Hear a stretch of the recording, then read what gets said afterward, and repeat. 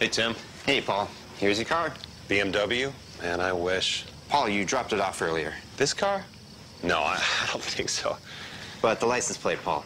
Paul was That's not what it says. Oh, In this voicemail? Hey, it's Paul. I got that certified pre-owned BMW. that sounds exactly like me. It is you. What? And that's your family. Hi, Daddy. Oh, you may be right. I am right.